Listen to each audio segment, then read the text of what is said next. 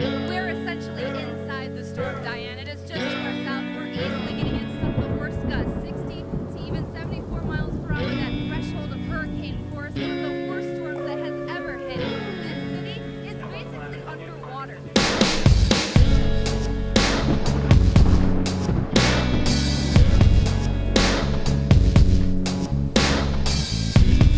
made it to Chicago. I haven't vlogged since I've been, right, I haven't vlogged uh, since I arrived. I basically left at 6 a.m. this morning and flew, landed, tattooed, forgot that I double booked myself, tattooed again, and now I'm at my hotel. I didn't book this hotel pre, a pre-trip before I got here. I literally booked this hotel Hotels Tonight. Hotels Tonight, no, it's not gonna be an ad. Hotels Tonight's an app, but I used it. I really didn't know where I wanted to stay. And uh, so I just decided to stay here because it's cheap. And there is a big bed. All I really want, oh, let's get up in here, hold on.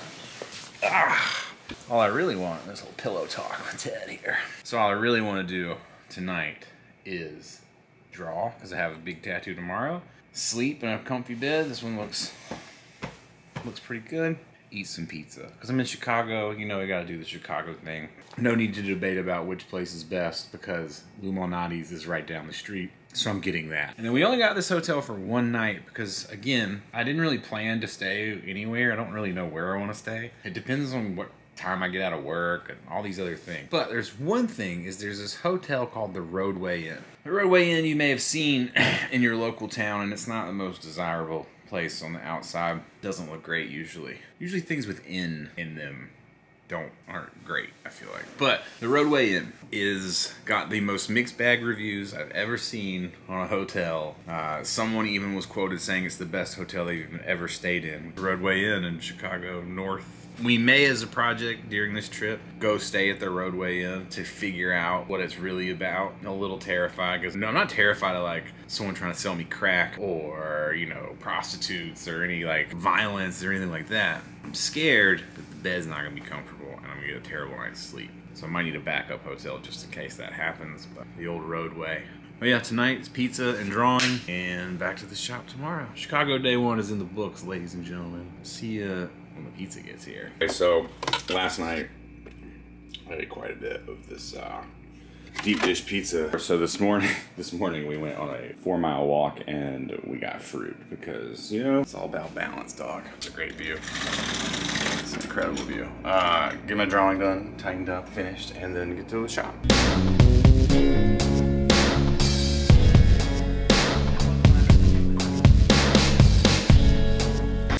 I this because somebody sent me this. Hat. Oh, it is a burger. Okay. It's a green chili burger. All right. Busy day here. Mhm. It's not bad. Yeah, burger's pretty solid. Not gonna lie.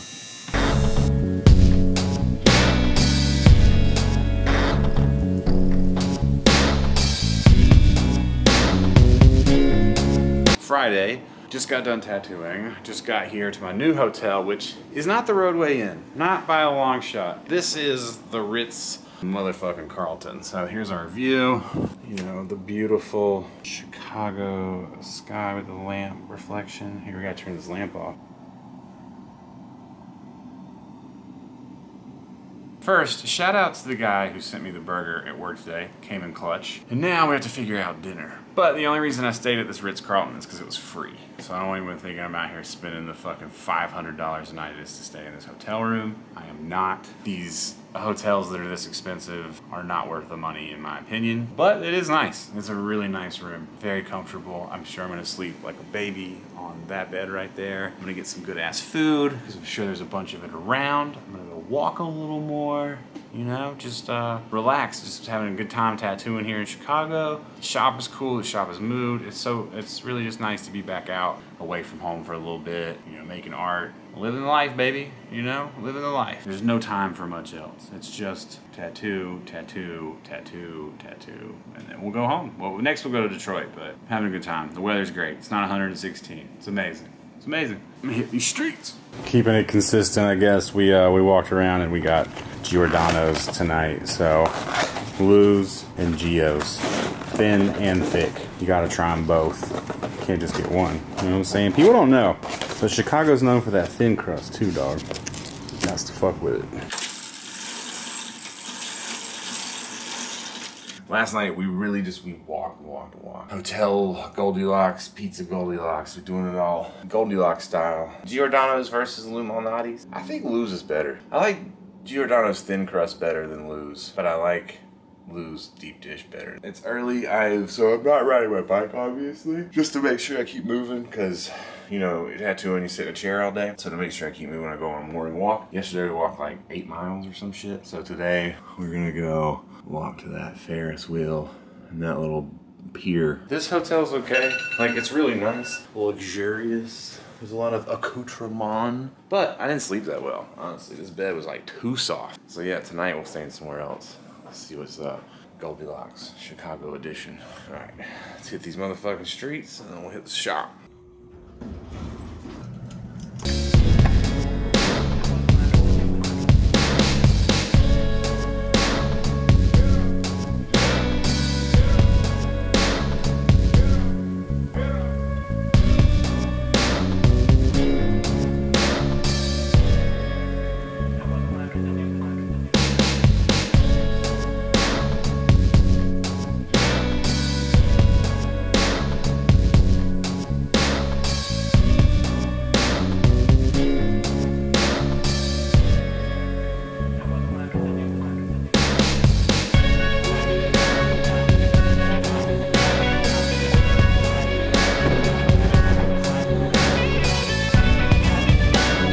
Trip, dog. Every time I come tattoo. So it's been crazy. Uh, I've been tattooing pretty much nonstop. Last night we went and ate at Bobby Chin's. Got a document that I'm at Bobby Chin's, an adventure 45 minutes north of Chicago for some fucking crab legs. It's an I think that seafood is better than here. I've never had this place. Oh, thanks. A little salt for the fries.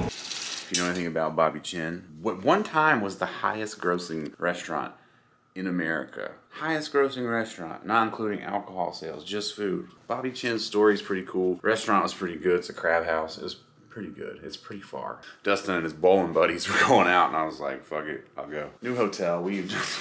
I don't think the Rodeway Inn's gonna happen, guys. The more I drive by it, the more I'm like, yeah, definitely not. Um, but this is the Westin. We also got this on point. All out of points for Marriott now. We're gonna start spending real cash. Westin's pretty nice. This is actually a remodeled room, apparently. All of the rooms are supposed to look like this soon enough. I'm one of the first people to ever stay in this room after the remodel. So if you come here, this is what you're gonna get.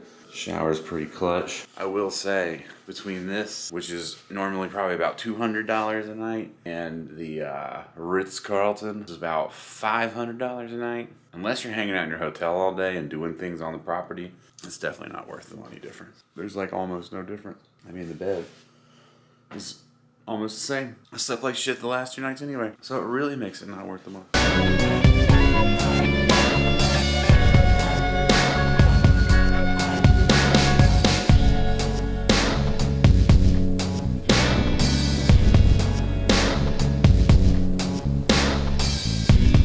Stank over here in the corner doing yoga. We're at the Sheraton, dog. Came to the Sheraton last night after a bunch of weeks. You didn't even pick this camera up yesterday. We're fucking out here. I don't know if you can see across the way there is Lord Emperor Trump's building. He lives on the very top up there, looking down on all the peasants. We got soup dumplings last night at Hing Ki, which was the most fire. Hinky. Stank with Hinky. And we were good until we, were good. We were good. Then we came back here and somebody had a bright idea to get Pequods. So we've had Lou Malnati's, Pequods, Giordano's, and at the shop yesterday we had Art of Pizza. Yeah. It's been a little fucking. It's pizzas. I'm feeling like a pizza shit right now. We're gonna go walk like six miles. Straight pizza shit. Yeah. Fucking this dude's back. Look at this shit. Yep. so much red.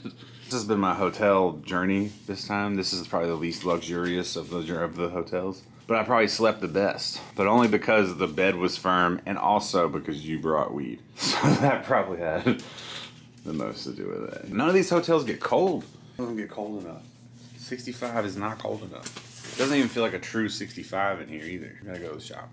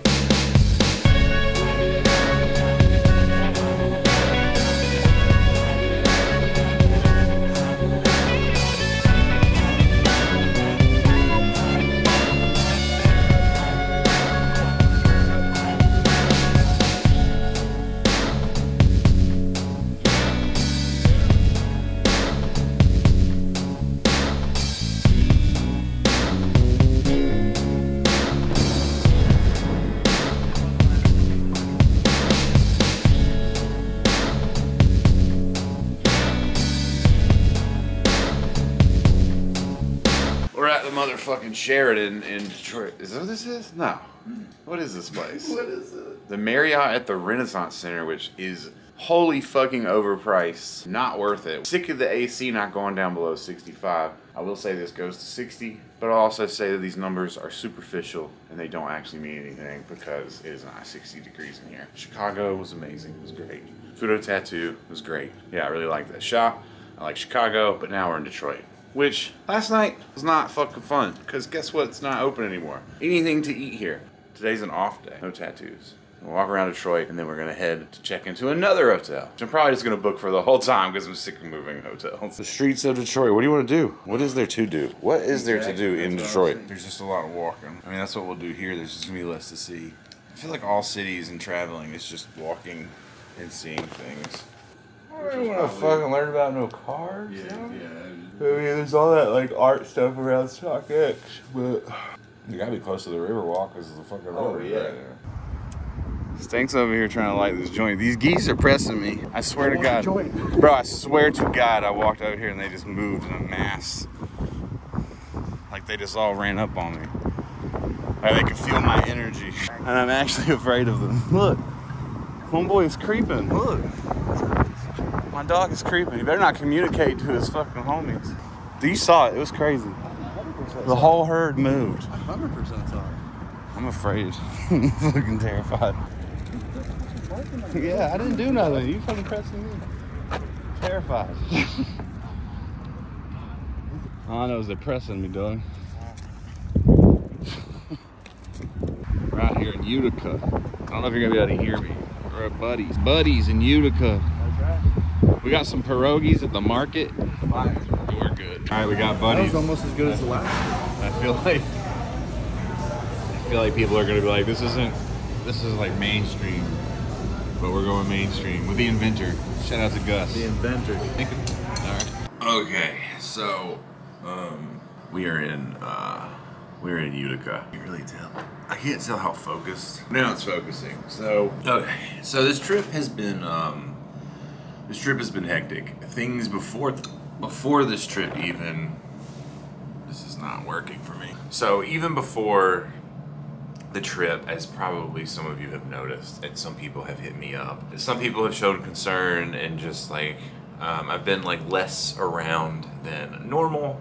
Um, I mean, there's been a lot going on, and I say that a lot, and I'm always usually talking about business and um, how much I want to do, you know, like how many ideas I have. So mostly that revolves around that. What I'm saying, oh, if there's a lot going on, you know, I don't really know. I mean, I guess the truth is, is I don't really know what I should say, and I don't know what I, you know, what I'm trying to do is give you guys the information that you need without, without anyone losing their dignity or I don't know like I guess I'm trying to protect people you know what I mean? I guess at the end of the day what I've been doing for the past 4 months is protect people. Like I just keep trying to protect Jay from his own reality. Really that's it you know? I mean you know I'm not really ever trying to protect Ern he's he's got it. But I, I guess the real thing I'm trying to say is that things with Jay have, have changed. That's the only really thing that I can say. And um,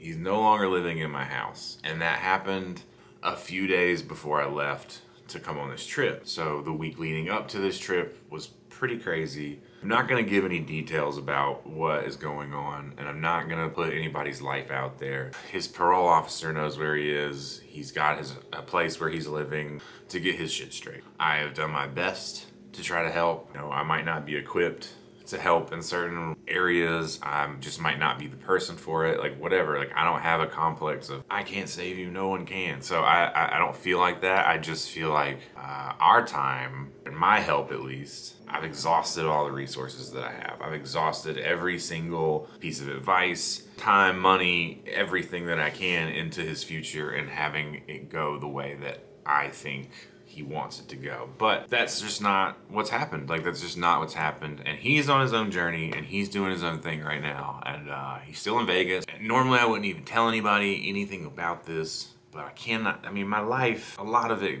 takes place on the internet. And I've made this choice to sort of share what's going on with everything, and it's not really fair of me to not discuss that there's obviously something going on behind the scenes. So it's really uh, why things have been hectic. That's this trip, you know, it's been, I've done way less as far as going out and doing stuff. I really just have needed some time to myself. Like I really just needed a little bit of time to kind of just clear my head and just do what I know, which is tattooing. Have a little fun, but also be making art and just getting back to, I guess, I guess my roots in a way. You know what I mean? I guess sometimes I feel like things have gotten so far from the origins of what the intention of what I've been trying to do that you know you have to pull it back. The shop we're gonna go to, Big Top today, is gonna be great. It's a great shop. I love Dan, the owner. And in fact, I would move to a place like Detroit or Chicago and work and still do what I do and do all that stuff. Um, it's just not where I am right now. And I don't know what's going to happen next. I don't know how long I'm going to stay in Vegas. My life for the past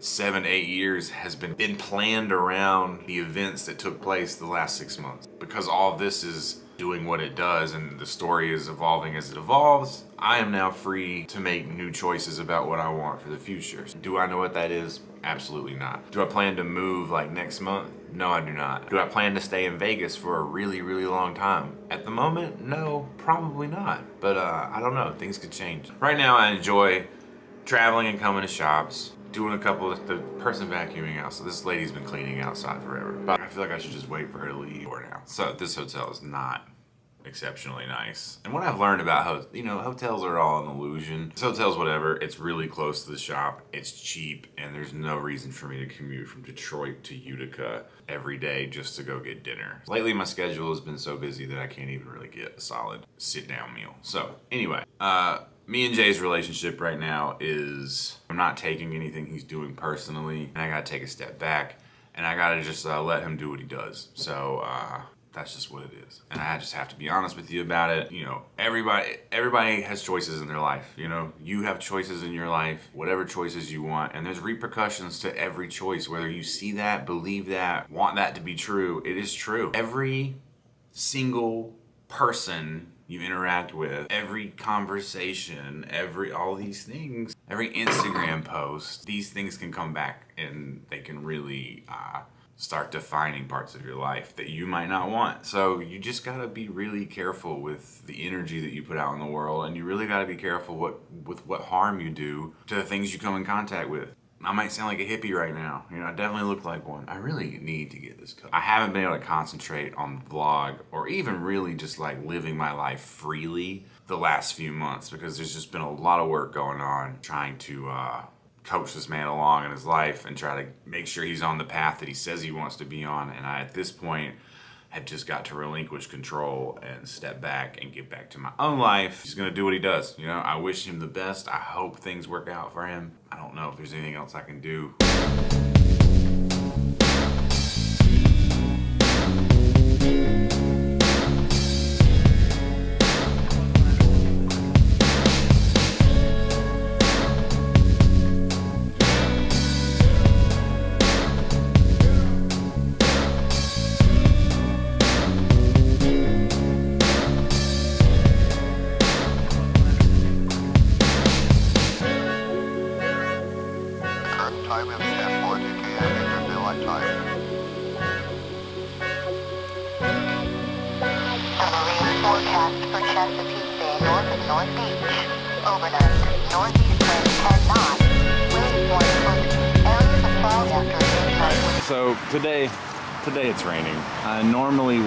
To the shop. It's like two and a half miles. And now I'm sitting here contemplating whether or not I should just walk there in the rain or not. Honestly, there's not that many choices. It's either walk, try to find a cab. There's zero Ubers out here, like zero. I could probably have my client come pick me up. He's driving in. I kind of want to walk. I just don't want to get soaking fucking wet. I really enjoy the walking. We'll throw a hoodie on and just walk, right? If it was Japan, we would walk. Should have brought a rain jacket. Alright, I think I'm gonna walk. This is also the gnarliest walk ever. It's just like, I don't know. It's kind of sketchy. Just don't want to get hit by a car. Rightfully so.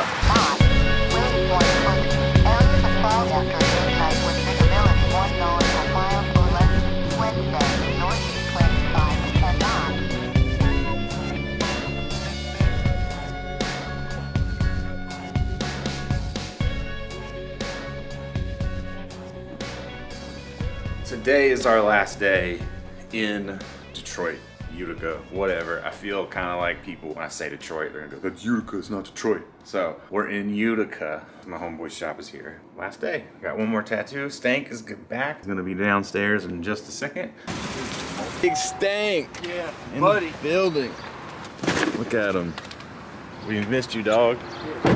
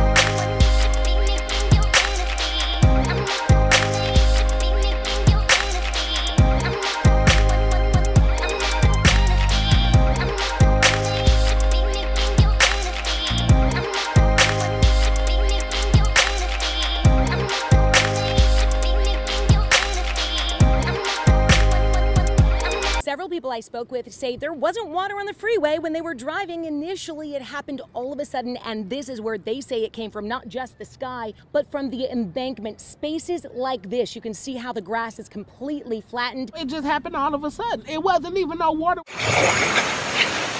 And all the water was just coming on the freeway, coming on the freeway. I'm like, oh my God! The big old hole where the water was coming out, it was just coming out real fast. It just seemed like, I don't know, it was unreal. It seemed like I was in a movie.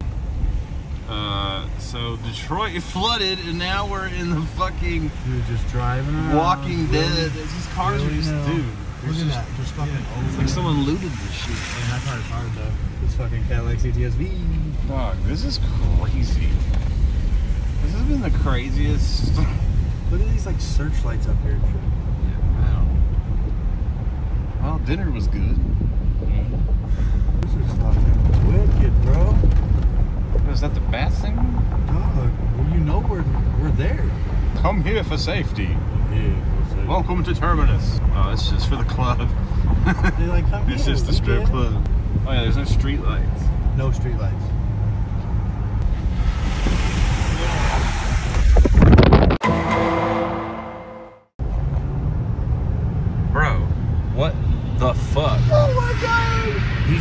Gonna keep Dude, going? you don't give a fuck, bro. See, I Yo. got out of there before it fell off. Oh, it's gonna fall off and he's gonna. Dude, what the fuck?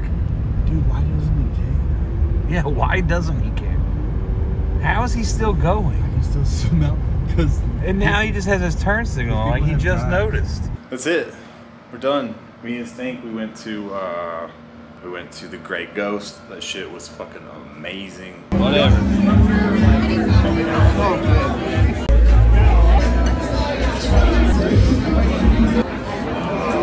Um, yeah, have a flight.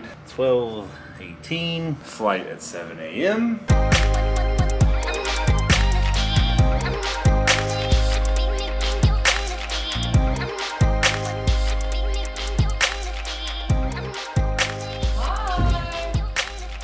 Bye bye.